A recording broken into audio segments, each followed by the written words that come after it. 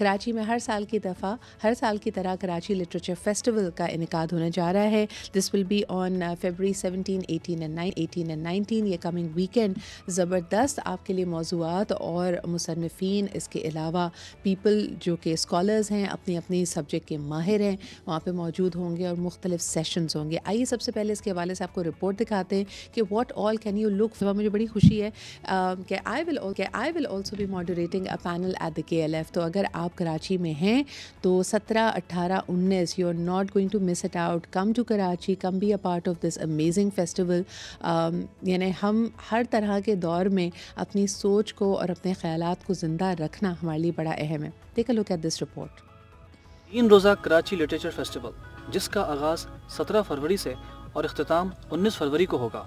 Oxford university press के जेर तमाम फेस्टिवल में पैनल डिस्कशन, किताब रहनुमाई और तस्वीरी नुमाइश समेत दीगर अदबी सरगर्मियाँ शामिल हैं।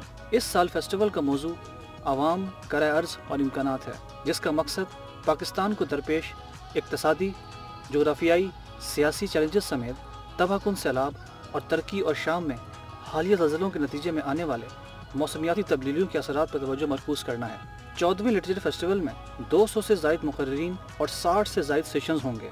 उर्दू और अंग्रेज़ी की 24 किताबों की रहनुमाई भी शामिल है। जी जनाब, और आज हमारी कराची स्टूडियोज़ में मौजूद है राहिला बकई साहिबा, जिनका ताल्लुक ऑक्सफोर्ड यूनिवर्सिटी प्रेस से है, और गुज्त कई सालों से यकीनन क्योंकि इस फेस्टिवल के साथ इन्वॉल्व रही हैं तो ये कहना गलत नहीं होगा कि इसकी रूह रवा है। अस्सलाम वालेकुम राहिला जी बहुत बहुत शुक्रिया हमारे साथ मौजूद होने के लिए। वालेकुम सलाम, थैंक यू। हर साल की तरह एक गुलदस्ता है बेहतरीन मुसनफ़िन का इंटेलेक्चुअल्स का स्कॉलर्स का।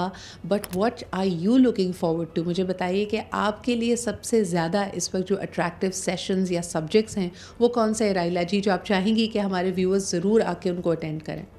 आ, हर हर साल की तरह से ज़ाहिर है इस साल भी हमने बहुत मिक्स रखा है जिसके अंदर आ, हर हम्म। किस्म के लोगों को हर किस्म के शौक़ रखने वाले किताबों से शौक़ रखने वाले लोगों को अट्रैक्ट करने के लिए सेशंस हैं। थीम इस दफ़ा की फेस्टिवल की पीपल प्लानट एंड पॉसिबिलिटीज़ है जिसके अंदर ज़ाहिर है हम फोकस हम्म। कर रहे हैं एक तरफ़ जो कुदरती आफात आ रही हैं जो प्लानट पे क्लाइमेट चेंज की वजह से जो जलजिले एंड जो अफेक्ट्स हो रही हैं उसके ऊपर बात कर सकें। फिर जो इकनॉमिक क्राइसिस इस वक्त पूरी दुनिया में है पाकिस्तान भी उसकी लपेट में है उसके ऊपर हम बात करें। और ज़ाहिर है पॉसिबिलिटीज़ दुनिया ख़त्म नहीं हो रही। At the end of the tunnel there is always light तो हम उस चीज़ उस रोशनी पर निगाह रखें उस पॉजिटिविटी पे निगाह रखें इन मौजूद को डिस्कस करें और सोचें कि हम क्या कर सकते हैं as a nation as people और जो आ, बहुत इंटरेस्टिंग हम सेशंस की बात करते हैं तो इसके अंदर जैसे मैंने कहा there are sessions on education because तालीम का तरीका अंदाज कोविड के बाद इन हालात के बाद बदल रहा है। टेक्नोलॉजी एक बहुत इंपॉर्टेंट रोल प्ले कर रही है अब तालीम के फ़रोग में। तो उसके ऊपर हमने बहुत इंपॉर्टेंट सेशन रखा है जिसके अंदर हम टेक्नोलॉजी का और एजुकेशन का राहिला जी अब मैं ज़रूर चाहूँगी कि इसके ऊपर थोड़ी सी और आप बात करें। मुझे बताएँ कि because O U P generally किताबों से, किताबों की अशात से यूर पब्लिशर तो आपका ताल्लुक़ है। और हम अक्सर ये बात करते रहते हैं कि लोग पढ़ना नहीं चाहते, अब मुताल उस तरह नहीं किया जाता जैसे पहले किया जाता था। तो पाकिस्तानी अवाम, पाकिस्तानी नौजवान जब हर साल आप उनको देखती हैं कि लिटरेरी फेस्टिवल्स में आते हैं तो वट इज़ द पैटर्न उनको किस किस्म के सब्जेक्ट्स में आप समझती हैं कि ज़्यादा इंटरेस्ट होता है? किन से वो ज़्यादा महजूज होते हैं? या उनका जो एक कहते हैं ना कि रुझान किस तरफ़ आप देखती हैं कि है ऐसे फेस्टिवल्स में? देखिए दो तरह के लोग आते हैं इस तरह के फेस्टिवल्स में स्पेशली अगर हम यूथ पर बात करें तो। एक तो वो होते हैं जो फ़न के लिए आते हैं जैसे यहाँ पर कॉन्सर्ट हो रहा है या मुशायरा हो रहा है उसके में मगर हमारा पर्पज़ ये होता है कि जब वो लोग इनके लिए भी आते हैं तो किताबें क्योंकि फेस्टिवल हम्म। का एक और ऑथर्स और बुक्स बुक रीडिंग एक इंटेग्रल पार्ट होता है। तो ऑटोमेटिकली वो उसकी तरफ़ अट्रैक्ट हम्म। होते हैं। और फिर ज़ाहिर एक बहुत बड़ा तबका वो होता है जो जेनवनली किताबों का का शौकीन होता है वो उन किताबों के लिखने वालों हम्म। से उन ऑथर्स से उन मुसनफिन से मिलना चाहता है। उनसे यू नो उनकी साइंड कॉपीज़ लेना चाहता है। उनका इंटरेस्ट है और यही हमारा ऑब्जेक्टिव है कि हम अपने यूथ को पढ़ने की तरफ़ लाएँ रीडिंग की तरफ़ और जो हमारे ऑथर्स हैं उनको एक सेलिब्रिटी बनाकर पेश करें इन फेस्टिवल्स के ज़रिए। एब्सोल्युटली राइला जी, क्योंकि आपसे एक बड़ा गहरा ताल्लुक़ है मोहब्बत का, खलूस का, और आप जानती हैं कि हम अजराहन मज़ाक हमेशा ये बात करते हैं कि हम जब भी कराची लिटरेचर फेस्टिवल की ओपनिंग कर रहे होते हैं तो हालात में कुछ कुछ तनाव ज़रूरी है। और अब, जैसे कहते हैं ना कि मुश्किलें इतनी पड़ी मुझ पर कि आसान हो गई। आपको भी आदत हो गई है इसकी, या इस दफ़ा भी मुश्किल का चैलेंजेस का सामना रहा? सिद्रा जी मैं आपको बताऊँगी हर साल हमारे साथ कुछ ना कुछ चैलेंज होता है और ये साल भी उससे कोई मुख्तलिफ़ नहीं था। इकोनॉमिक क्राइसिस की वजह से putting together this festival was an herculean task बहुत मुश्किल था मगर गॉड इज़ ग्रेट एंड नीयतें साफ़ हों तो रास्ते आसान होते ही जाते हैं। And I am very lucky to have a very good and a supportive team जो साथ देती है चाहे वो मेरे कॉलीग्स हों मेरे साथ काम करने वाले हों तो I mean we all work together to make this festival a success so I would proudly say और मेरे ख्याल में ये बात Absolutely.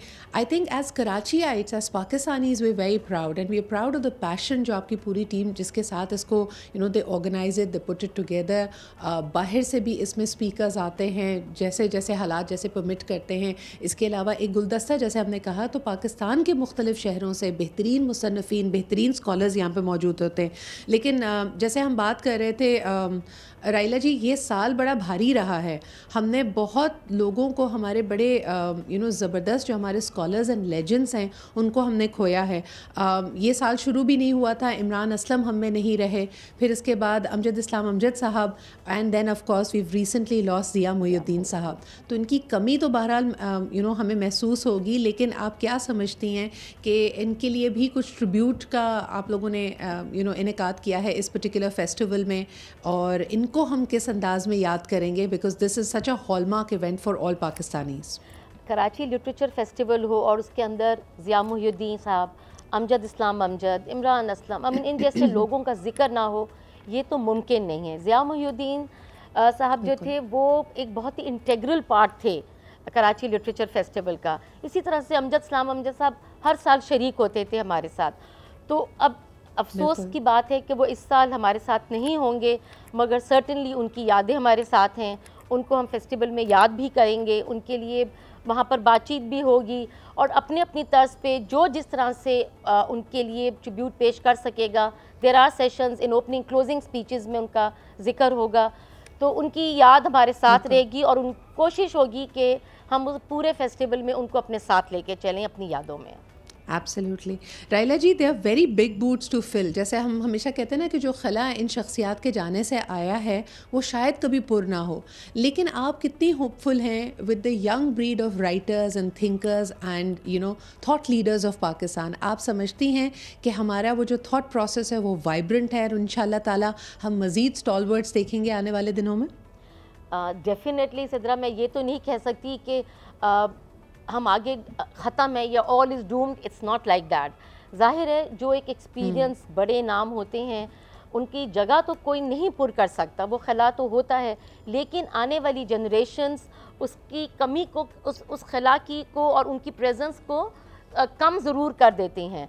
हमारे पास टैलेंट की कमी नहीं है हमारे पास जहीन लोगों की आर्टिस्ट की राइटर्स की पोइट्स की कमी नहीं है। इन लोगों को प्लेटफॉर्म चाहिए होता है। इन लोगों को एक ऐसा आ, कोई प्रोजेक्शन चाहिए होती है जहाँ ये सामने आ सकें और इन जो बुज़ुर्ग हैं इनके जेर साया इनकी जो एबिलिटीज़ हैं वो मज़ीद रिफाइंड हो सकें। So obviously it's like that generation leave us new gen people come they take their places but they leave their mark on the people to come so इन लोगों का मार्क तो हमेशा रहेगा।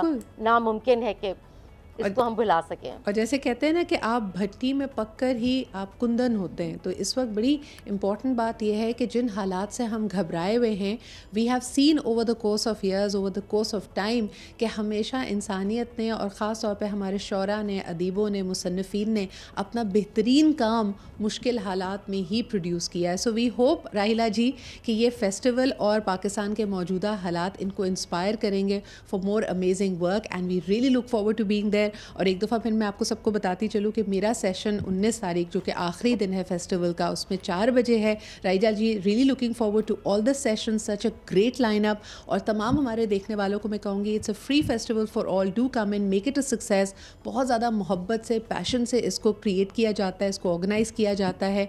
और इसकी तमाम तर डिटेल्स आपको इनकी वेबसाइट पर मिल जाएगी। टमोरो इन ताला, Karachi will once again be opening the K L F twenty twenty three and we are really proud of it Raila ji बहुत शुक्रिया हमारे साथ मौजूद होने के लिए।